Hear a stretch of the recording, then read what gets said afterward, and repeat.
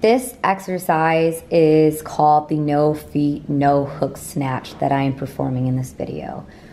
Why do I do this lift? Because I usually throw my head and body behind the bar too soon during the lift.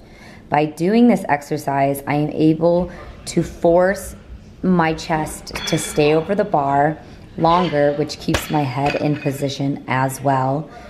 This will help me execute the bar path more properly throughout the lift and I will not lose my lift forward or backwards.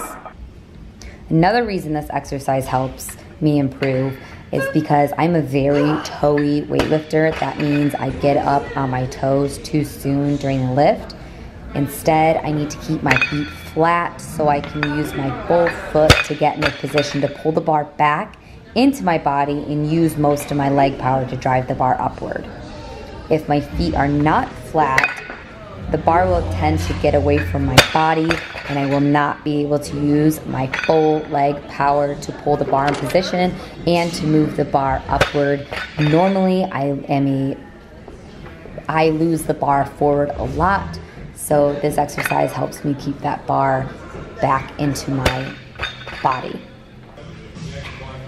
the athletes that would benefit from using this exercise are athletes that are constantly losing the bar in front of them or behind them, athletes that are not able to reach full extension in their lift. And then when an athlete needs to learn to keep their feet flat on the ground so they're able to generate more power through their legs.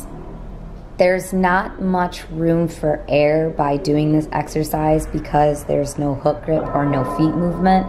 So if you don't keep the bar close the entire time or keep your chest over the bar or keep your feet flat on the ground so you can use your legs, you will really see a lot of missed lifts.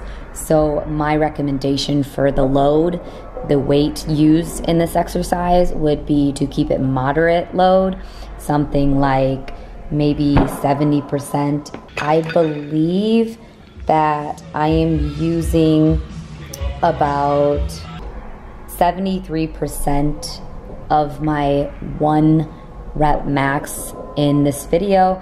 You can go up higher the more success you have with this exercise, but for the beginning, I would keep it pretty light so you're able to execute this exercise properly.